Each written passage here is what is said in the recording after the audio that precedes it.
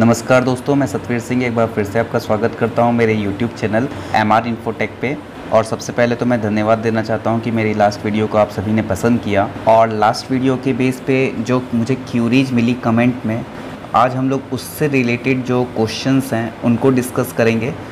साथ ही साथ मुझे ये भी उम्मीद है कि आप सभी लोगों ने मॉडरेशन पे वर्क करना स्टार्ट कर दिया होगा, या बहुत सारे लोग जो है उसको लास्ट स्टेज तक पहुँच भी चुके होंगे। तो उससे रिलेटेड बहुत सारी आपकी क्यूरीज होंगी। तो मेरी पूरी कोशिश ये होगी कि मैं आपकी मैक्सिमम क्यूरीज को इस वीडियो के थ्रू सॉल्व कर सकूँ। तो मेरी लास्ट वीडियो में जो मैक्सिमम क्वेश्चन पूछे गए थे, उसमें पहला क्वेश्चन ये था हिस्टोरिकल डाटा को लेके। क्वेश्चन ये था कि जो हमारा हिस्टोरिकल डाटा का जो मीन है, वो विथ प्रैक्टिकल है या विदाउट प्रैक्टिकल है? तो यहाँ पे दो बातें गौर करने के लिए हैं। पहला तो ये कि जो हमें सीबीएसई ने हिस्टोरिकल डेटा प्रोवाइड किया है वो थ्योरी के लिए दिया है मीन्स विदाउट प्रैक्टिकल दिया है। लेकिन जब हम अपने फाइनलाइजेशन के स्टेज पे आएँगे तो वहाँ पे हमें एक रेफरेंस मिलेगा और वो रेफरेंस जो होगा, जैसे ये आप देख सकते हैं reference percentage table for higher brackets of marks तो हमें अपने लास्ट थ्री इयर्स की जो हमारी स्कूल की परफॉर्मेंस रही है उसके बेस पे तो हमें ये देखना होगा कि हमारा कोई स्टूडेंट 95 से 100 की कैटेगरी में आ रहा है या नहीं आ रहा है। यानी कि वहाँ पे हमें जो है उसका थ्योरी विथ प्रैक्टिकल दोनों को हमें ऐड करके देखना होगा कि वो स्टूडेंट उस कैटेगरी में आ रहा है या नहीं आ रहा। तो ये जो पहला क्वेश्चन था बहुत सारे लोगों ने पूछा था कि हम हिस्टोरिकल डेटा जो अपना देख रहे हैं और स्टूडेंट के मार्क्स के बेस पे कैलकुलेट कर रहे हैं उसमें हम प्रैक्टिकल मार्क्स को इंक्लूड करेंगे या नहीं करेंगे। अगर हम सब्जेक्ट वाइज मॉडरेट कर रहे हैं तो उस सिचुएशन में हम थ्योरी के मार्क्स को ही बेस मानेंगे। मीन्स हम हमें प्रैक्टिकल को इंक्लूड नहीं करना है, लेकिन अगर हम फाइनलाइज करने जा रहे हैं तो हम अपने पास थ्री इयर्स की परफॉर्मेंस को देख रहे हैं तो उस सिचुएशन में हमें प्रैक्टिकल प्लस थ्योरी दोनों को ऐड करके अपने स्कूल के लास्ट थ्री इयर्स की परफॉर्मेंस को देखते हुए मेजर करना होगा तो उस सिचुएशन में हमें उसको इंक्लूड करना होगा। क्या हम निगेटिव मॉडरेशन कर सकते हैं? कर सकते हैं तो कितनी कर सकते हैं, उसकी लिमिट क्या है, हम मैक्सिमम कितना निगेशन में जा सकते हैं तो इसके लिए मैं आपको सीट पे लेके चलता हूँ और मैं आपको यहाँ बता देता हूँ कि मैंने यहाँ पे तीन सीट ली हुई हैं, पहली सीट है टेबुलेशन सीट सब्जेक्ट वाइज ठीक है? तो ये जो सब्जेक्ट वाइज हमारी सीट है, अगर मैं इसके निगेशन की बात करूँ तो पहले मैं आपको ये बता दे रहा हूँ कि अगर हम यहाँ पे निगेशन करना चाहते हैं किसी स्टूडेंट के लिए तो यहाँ पे अगर हम निगेशन करते हैं तो उसकी लिमिट है माइनस ट्वेंटी फाइव मीन्स अगर हम किसी की वैल्यू को घटा रहे हैं तो हम कम से कम माइनस पच्चीस. अगर हम इससे ज़्यादा डिक्रीज करना चाहते हैं तो हम ये नहीं कर सकते. ये इसकी लिमिट दी हुई है. और मैंने आपको बताया था कि प्लस में पॉजिटिव अगर फिगर में हम इंक्रीज करना चाहते हैं तो हम कितना कर सकते हैं, ये मैं आपको लास्ट वीडियो में बता चुका हूँ। अगर आपने नहीं देखा है तो उस वीडियो को एक बार फिर से देख लीजिए। मैं आई बटन पे उसका लिंक दे दूँगा। एक शॉर्ट वे में मैं आपको बता दे रहा हूँ, जैसे कि सपोज़ करिए ये स्टूडेंट है और इस स्टूडेंट का क्लास टेंथ में 18 मार्क्स है। ये हमने रेफरेंस लिया है इकोनॉमिक्स सब्जेक्ट का। तो इकोनॉमिक्स 80 मार्क्स का होता है। तो यहाँ पे इसके 18 मार्क्स हैं। सेम क्लास इलेवेंथ में इसके 20 मार्क्स हैं। 30 परसेंट मॉडरेट करने पे। और क्लास ट्वेल्थ में 40 परसेंट मॉडरेट करने पे इसके 26 मार्क्स हैं। तो 26 20 ये हो गया 46 और 46 और 18 ये आपका हो जाएगा 64 तो टोटल थ्योरी जो हो गई 64 हो गई। अब यहाँ पे ये कह रहा है परमिसिबल लिमिट मतलब हम कितना इसमें मैक्सिमम नंबर ऐड और कर सकते हैं। तो हम इसमें टेन मार्क्स और ऐड कर सकते हैं, यानी ये हो जाएगा 74 अब ये क्योंकि इकोनॉमिक्स तो एटी मार्क्स का होता है तो ये 74 ही हो रहा है, यानी बाकी के सिक्स मार्क्स कहाँ गए? तो क्लास टेंथ में 80 मार्क्स के पेपर में हमें जो है 24 मार्क्स मिलते हैं। तो उस 24 में ये 18 मार्क्स ऑलरेडी पाया हुआ है, यानी कि वो सिक्स मार्क्स इसमें लेस है तो उस सिक्स मार्क्स को हम इसमें इंक्लूड नहीं कर सकते। इसीलिए उसको डिडक्ट करके यहाँ पे कितना बताया है? टेन बताया है। तो अगर हम ओवरऑल एटी की बात करें तो यहाँ सिक्सटीन होना चाहिए। लेकिन ये क्लास टेंथ के मार्क्स को यहाँ पे डिडक्ट कर दिया है, इसलिए यहाँ पे ये टेन दिखा रहा है। इसलिए मैक्सिमम जो लिमिट दिखा रहा है कि हम इस स्टूडेंट को कितना दे सकते हैं तो अभी हमने इसको ऑलरेडी सिक्सटी फोर दिया हुआ है और हम इसमें टेन यानी सेवेंटी फोर मार्क्स इसको और दे सकते हैं। लेकिन ये डिपेंड करता है कि हम उस स्टूडेंट को किस कैटेगरी में रख रहे हैं और हमें क्या लगता है कि वो कितना उसके लिए डिजर्विंग है। सेम ऐसे ही, जब हम सब्जेक्ट वाइज मॉडरेट कर लेंगे तो हमें एक और सीट मिलेगी tabulation sheet for all candidates all subjects तो यहाँ पे भी हम अपने वैल्यू को मॉडरेट कर सकते हैं। तो मैं यहाँ पे एक चीज़ क्लियर कर देना चाहता हूँ कि जैसे वहाँ पे लिमिट थी माइनस ट्वेंटी फाइव की, लेकिन यहाँ पे कोई लिमिट नहीं है। यानी कि हम अगर सब्जेक्ट वाइज डिक्रीज करना चाहते हैं, किसी सब्जेक्ट के मार्क्स को और वहाँ पे माइनस ट्वेंटी फाइव ही हो रहा है तो घबराने की ज़रूरत नहीं है। हम उसको जो overall all candidates all subject वाले ऑप्शन पे जब हम सीट पे जाएँगे तो वहाँ से हम उसको जो है अपने अकॉर्डिंग डिटेक्ट कर सकते तो लास्ट वीडियो में कई लोगों ने कमेंट बॉक्स में ये क्वेश्चन भी पूछा था कि हम मैक्सिमम कितना मार्क्स को डिडक्ट कर सकते हैं। एक और पर्सन का कमेंट भी मेरे पास आया था कि मुझे माइनस ट्वेंटी फाइव से ज़्यादा नंबर डिक्रीज क्योंकि हमने राव मीन एक्स्ट्रा डाल दी है तो ये चीज़ हम कैसे करेंगे?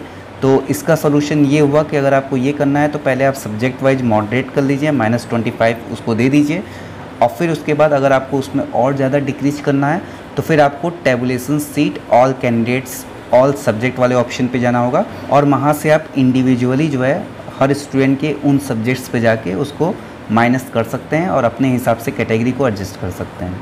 अब यहाँ पे हमें ये देखना है कि परमिसेबल मीन और या मॉडरेशन की मीनिंग क्या होती है और बैलेंस वैल्यू क्या है। बहुत सारे लोगों के कमेंट आए हैं, बहुत सारे लोगों ने क्वेश्चन पूछा है कि सर ये नहीं समझ में आ रहा कि हमें बैलेंस वैल्यू को किस तरीके से एडजस्ट करना है। या मीन परमिशनल जो मीन है या मॉडरेशन है, उसकी मीनिंग क्या है, वो हम किस तरीके से यूज़ करेंगे? तो इस बात को समझाने के लिए मैं एक काम करता हूँ। सबसे पहले हम अपने दोनों सीट को एक एक वन बाय वन देख लेते हैं। जैसे ये हमारी जो सीट है, वो है tabulation sheet subject wise candidates तो यहाँ पे हमने सब्जेक्ट वाइज कैंडिडेट्स की लिस्ट को दिखाया हुआ है। मैंने यहाँ पे चूज़ किया हुआ है इकोनॉमिक्स को। इकोनॉमिक्स का सब्जेक्ट पहले मैंने एग्ज़ाम्पल में लिया हुआ है। तो यहाँ पे आप देख सकते हैं, यहाँ पे ए बी सी डी कुछ ब्रैकेट्स बने हुए हैं। तो यहाँ पे ए ब्रैकेट यानी एक कॉलम में लिया हुआ है सब्जेक्ट का नाम, जो कि इकोनॉमिक्स है। कैंडिडेट्स इन द सब्जेक्ट तो यहाँ पे सब्जेक्ट के जो कैंडिडेट्स हैं वो 25 हैं। अब सपोज़ करिए स्कूल को क्या रेफरेंस मिला था? तो मैंने एक राफ फिगर ले लिया कि मान लेते हैं कि स्कूल को जो है 38 परसेंट का रेफरेंस मीन मिला था। ठीक है? अब स्कूल को ये परमिशन मिली है कि वो प्लस फाइव इसमें ऐड कर सकते हैं तो सी हमें हर सब्जेक्ट में यहाँ पे परमिशनल मीन में जो है 43 यानी प्लस फाइव करके दे रहा है। यहाँ पे सीबीएसई हर सब्जेक्ट में आपको परमिशबल मीन जो देगा, वो प्लस फाइव करके देगा। इसका मतलब ये नहीं है कि आप हर सब्जेक्ट में प्लस फाइव करेंगे। मैंने लास्ट में भी ये बात बताई थी कि हम किसी एक सब्जेक्ट में या जिन जिन सब्जेक्ट्स में अपने स्टूडेंट्स की मीन को बढ़ाना चाहते हैं, उन्हीं सब्जेक्ट में हम इसको यूज़ करेंगे। तो मेरे हिसाब से आप प्लस फाइव प्लस फाइव अगर हर सब्जेक्ट में करेंगे तो आपका जो ओवरऑल एवरेज होगा, जो आपका लास्ट में आपको प्लस टू का ऑप्शन दिया हुआ है ओवरऑल मीन का, वो आप कभी भी एडजस्ट नहीं कर पाओगे। तो या तो आप किसी एक सब्जेक्ट को उठा लो, जो आपका सबसे कम एवरेज वाला है, और उसी में प्लस फाइव मीन कर दो। और या तो आप एक काम ये भी कर सकते हो कि आप अपने मेन मेन जो आपके सब्जेक्ट्स हैं, या आपको ये लगता है कि जिन सब्जेक्ट में आपको स्कूल की तरफ़ से मीन कम मिला है आप उन सब्जेक्ट में सभी में प्लस वन या प्लस टू का रेशियो ले लो कि मुझे एक मीन इसका बढ़ाना है या दो मीन बढ़ाना है और उसी के हिसाब से आप अपने फाइव तक के मीन को एडजस्ट कर लो। बाकी को एज इट इज़ छोड़ दो। ऑटोमेटिक आपका जो लास्ट का प्लस टू वाला मीन है, वो ऑटोमेटिक एडजस्ट हो जाएगा। और या तो आप किसी एक सब्जेक्ट में भी प्लस फाइव कर सकते हैं। ये डिपेंड करता है आपके आपके ऊपर कि आप अपने किस सब्जेक्ट की मीन को बढ़ाना चाहते हैं। किसमें आपको लगता है कि इसका मीन कम है और इसको हमें और इंक्रीज कर देना चाहिए। तो रही बात ये, ठीक है?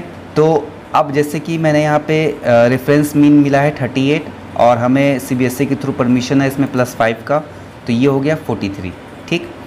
अब यहाँ पे टोटल मार्क्स कितने हुए? तो यहाँ पे 43 मल्टीप्लाइड बाई 38 ये हो गया 1075 अब यहाँ पे एक बात और समझने की है कि ये जो 1075 आ गया, ये हो गया हमारा टोटल मार्क्स अगर हम प्लस फाइव इस सब्जेक्ट में मीन को ऐड करके एडजस्ट करते हैं तब। अब यहाँ पे आपको एक एफ़ कॉलम दिख रहा होगा जिसमें लिखा है रॉ मीन रॉ मीन का मतलब ये हो गया कि सीबीएसई ने अपने पोर्टल पे हमें, हमसे कहा था कि आप अपने स्टूडेंट के इलेवंथ और ट्वेल्थ के मार्क्स अपलोड करिए। उस समय किसी के पास हिस्टोरिकल परफॉर्मेंस नहीं थी तो सबने अपने अकॉर्डिंग जो है एक रॉ मीन डाला। तो ये रॉ मीन है मतलब ये वो वैल्यू है जो इकोनॉमिक्स के सब्जेक्ट में हमने स्टूडेंट को अलाउड की थी, हमने मार्क्स पुट किए थे। और उन मार्क्स के बेस पे उन्होंने एक एवरेज उसका दे दिया और उसको कह दिया वो रॉ मीन है। और उस एवरेज के बेस पे नंबर ऑफ़ स्टूडेंट यानी कि अगर हम ये कहें कि ये रॉ मीन है 54.24 और स्टूडेंट है 25 तो इसको कैलकुलेट करने के बाद हमारे जो मार्क्स आ गए रॉ मार्क्स हो गए, वो हो गए 1356 अब इसमें इसमें हमें कितना परमिशन था मॉडरेट करने का? यहाँ पे दिया हुआ है रॉ मार्क्स के अकॉर्डिंग अगर हम देखें तो वो था माइनस टू एटी वन और जो मॉडरेशन गिवन था वो क्या था? माइनस फोर ज़ीरो फोर अब परमिशनल मॉडरेशन यहाँ पे माइनस टू एटी वन कैसे आया? तो ये देखिए, ये ई माइनस जी किया हमने। ई माइनस जी करने का मतलब क्या हो गया? ये जो हमारे टोटल मार्क्स थे प्लस फाइव ऐड करने के बाद, इसमें से हमने ये रॉ मार्क्स को माइनस कर दिया। तो यहाँ आप देख सकते हैं, ये 1075 है और ये 1356 है।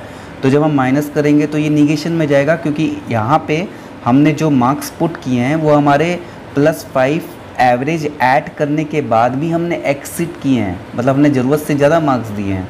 इसलिए वो किसमें दिखा रहा है? निगेशन में दिखा रहा है। अब यहाँ पे आते हैं, यहाँ से। अब हमारा जो मेन मेन जो काम है वो ये है कि देखिए, हमारा रॉ फिगर ये था प्लस फाइव के बाद ये आया टोटल मार्क्स ये आया वन थाउज़ेंड सेवेंटी फाइव अब हम क्या कर रहे हैं?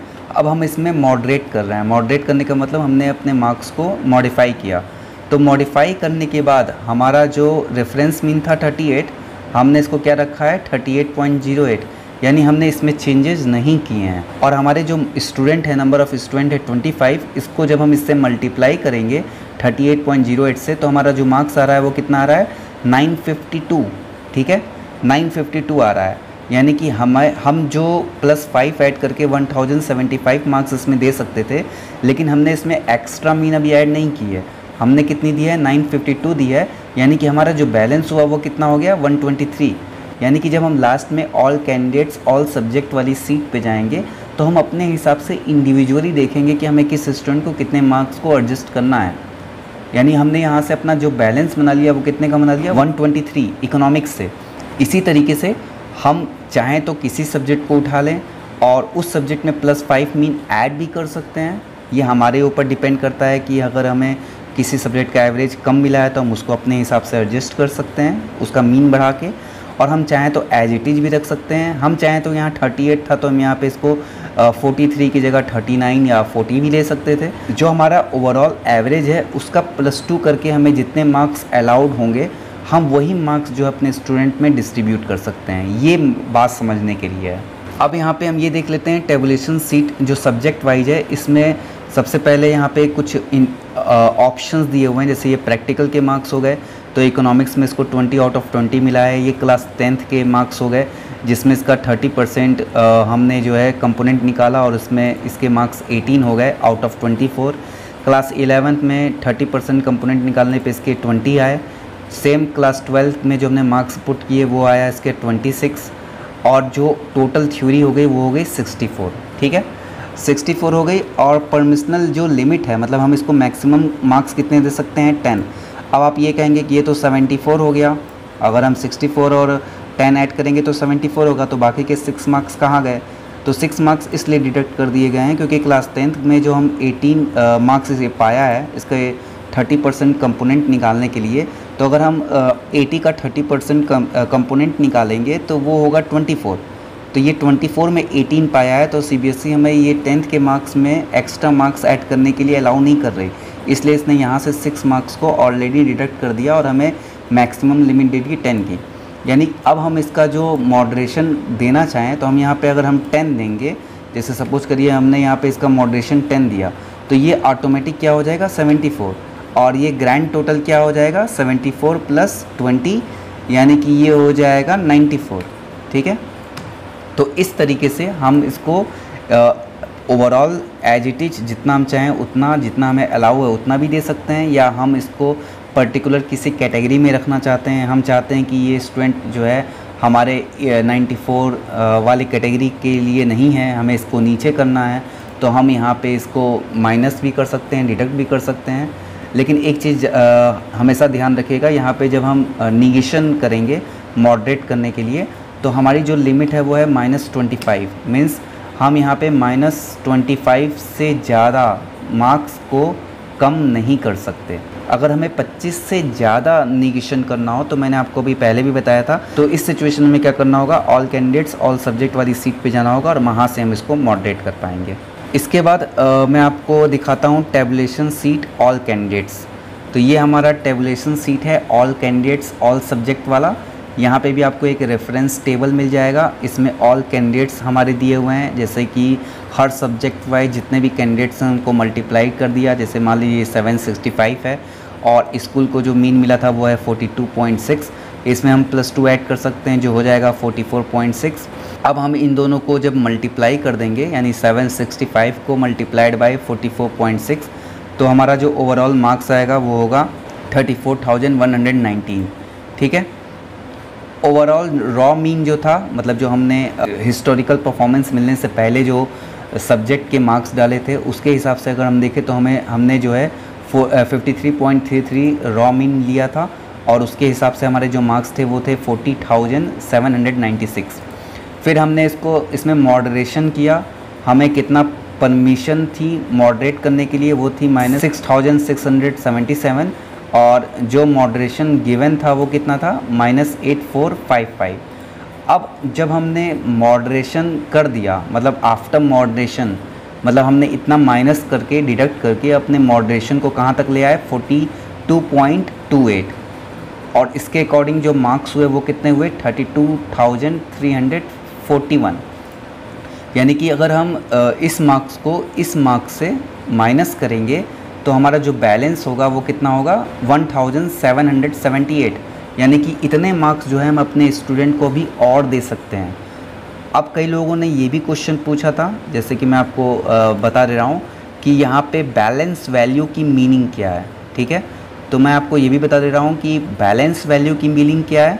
बैलेंस वैल्यू की मीनिंग ये है कि अगर मैं यहाँ पे टेबुलेशन सीट सब्जेक्ट वाइज अगर मैं बात करूँ तो यहाँ पे भी देखिए आपको एक बैलेंस वैल्यू मिल रही होगी। बैलेंस वैल्यू का मतलब ये हो गया कि ये जो मार्क्स थे 123 सीबीएसई ने हमको अलाउ किया था कि हम इसमें, इस सब्जेक्ट में 1075 मार्क्स दे सकते हैं।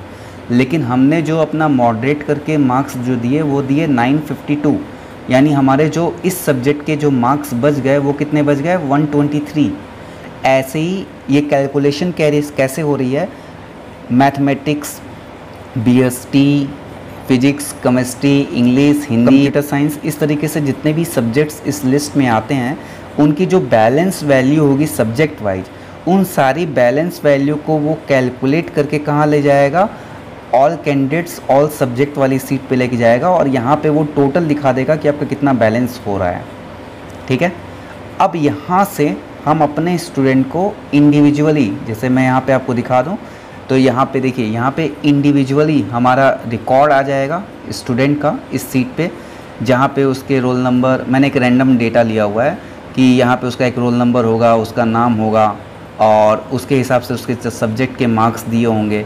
जैसे यहाँ क्लास टेंथ का कंपोनेंट दिया है, यहाँ सब्जेक्ट के मार्क्स लिखे हुए हैं, या एलेवंथ कंपोनेंट ट्वेल्थ कंपोनेंट और टोटल थ्योरी कितनी हो रही है, वो दिया हुआ है। इसके अलावा हम इसमें कितना स्टूडेंट को मैक्सिमम और कितने मार्क्स दे सकते हैं और मॉडरेशन गिवन हम कितना मॉडरेशन देना चाहते हैं, ठीक है? तो यहाँ पे देखिए, अभी जो इसमें मार्क्स डले हुए हैं, उसके हिसाब से थ्योरी आफ्टर मॉडरेशन इसके मार्क्स हो रहे हैं 25 और ग्रैंड टोटल हो रहा है वो 53 हो रहा है।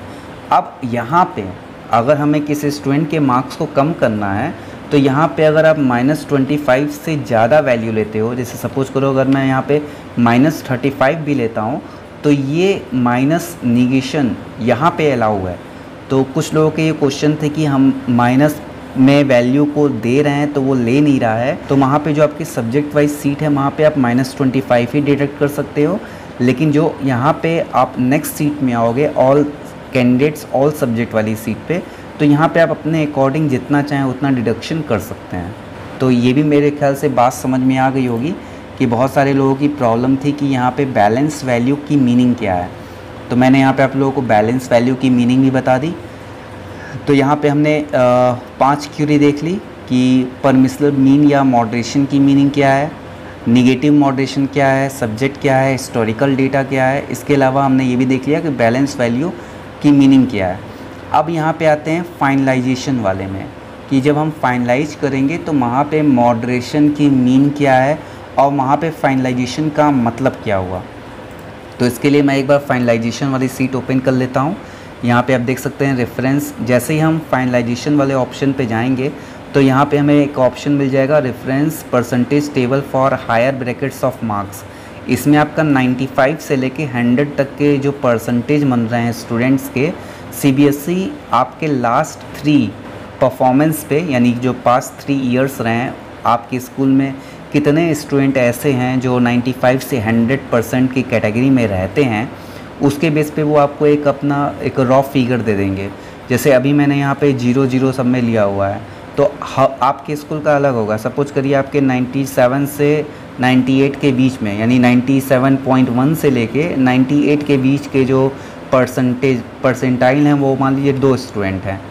सेम ऐसे ही यहाँ पे एक स्टूडेंट है। तो जब हम अपना ओवरऑल रिकॉर्ड यहाँ से देखेंगे पर्टिकुलर किसी स्टूडेंट का तो यहाँ पे आप देखेंगे कि आपको टोटल मार्क्स मिल जाएँगे उस स्टूडेंट के।